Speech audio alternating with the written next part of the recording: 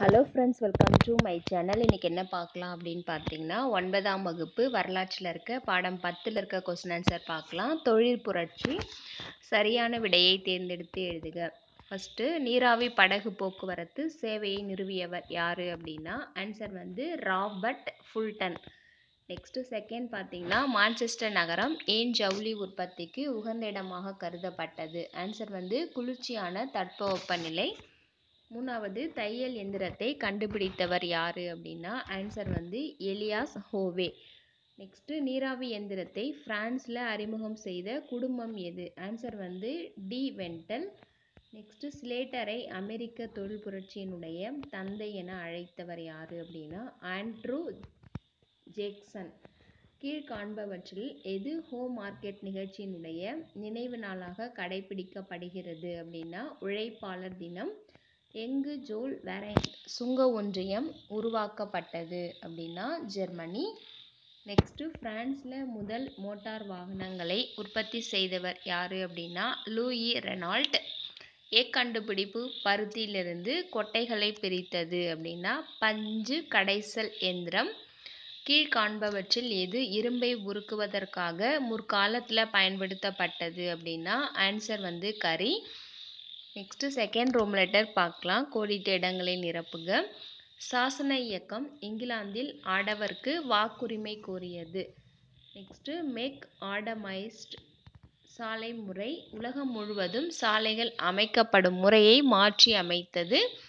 விரைவாகவும் குறைந்த செலவிலும் எஃகை உற்பத்தி செய்யும் முறையை ஹென்றி ஃபெசியர் கண்டுபிடித்தார். நெக்ஸ்ட்டு விஞ்ஞான சோஷலிச சோஷலிசத்தை முன்வைத்தவர் யார் அப்படின்னா காரல் மார்க்ஸ். ஜெர்மனியில் முதல் இருப்பு பாதை ஆயிரத்தி எட்நூற்றி முப்பத்தைந்தாம் ஆண்டில் இயக்கப்பட்டது. நெக்ஸ்ட்டு தேர்ட் ரூம் லெட்டர் சரியான கூற்றினை கண்டுபிடி பார்க்கலாம். இங்கிலாந்து சுரங்க முதலாளிகள் சுரங்கங்களுக்குள் நீர்க்கசிவு ஏற்படும் பிரச்சனையை எதிர்கொண்டனர். இவ்வேளையில் மனித உழைப்பை ஈடுபடுத்துவது குறைந்த செலவுடையதாக இருக்கும்.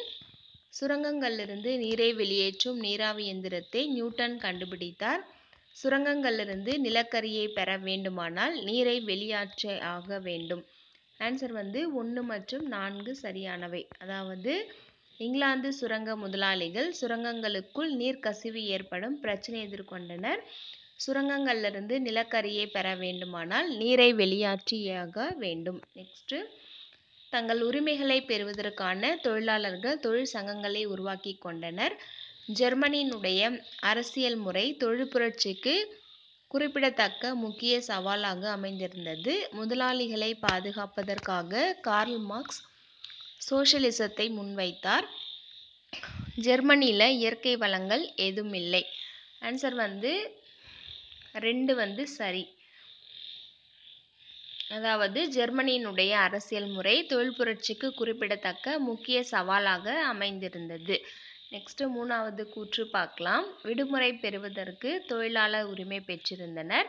காரணம் பணியாளர்களை பாதுகாக்க சட்டங்கள் இருந்தன. ஆன்சர் வந்து கூற்று காரணம். இரண்டுமே தவறு. நெக்ஸ்ட்டு கூற்று பார்க்கலாம். ஸ்லேட்டர் அமெரிக்க தொழில் புரட்சியினுடைய தந்தை என அழைக்கப்படுகிறார்.